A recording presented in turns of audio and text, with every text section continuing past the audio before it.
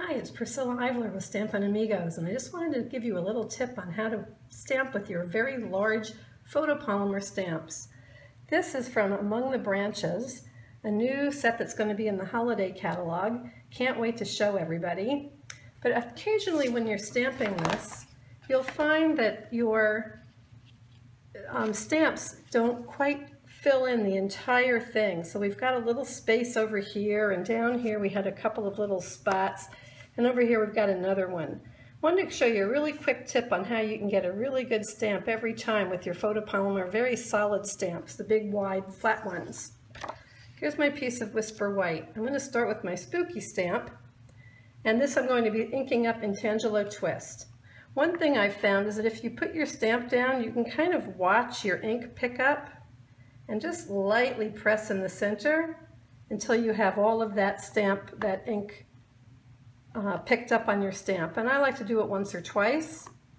Then I'm going to take it and just take a quick look and make sure that everything looks inked up really well. And it does. So I'm going to go ahead and stamp. I like to make sure that the ink transfers, but again, over here you're going to see where there's a little spot that isn't quite right. So pick up your paper. The paper comes right with your photopolymer stamp. And underneath, just give it a little press. Kind of just rub it around like so, all the way around. And when you take that off, you've got a perfect, perfect stamp. We'll do another one, doing one in Mossy Meadow. Again, as I put this down, watch the ink pick up. You can just pick it up and just give it a slight press in the center, all the way around, making sure you have ink on the entire stamp. I like to just set it down one more time. I'm going to just make a quick exam on the back and make sure it looks like it's inked all the way around. And then I'll set it down, and as I stamp, you can watch the ink transfer. I got a spot in the middle, looks like it's not quite there, so I'm going to pick it up, flip it over, give it a little rub, and there we are, sheer perfection. Want to try one more time?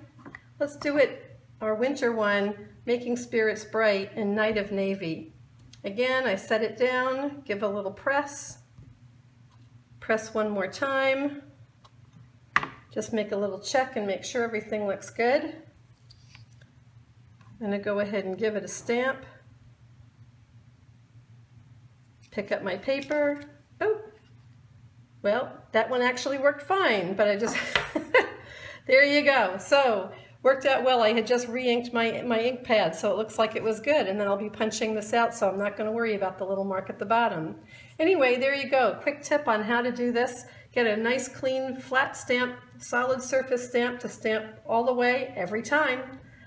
Come on and come on by my blog and visit me at stampinamigos.com. Thanks.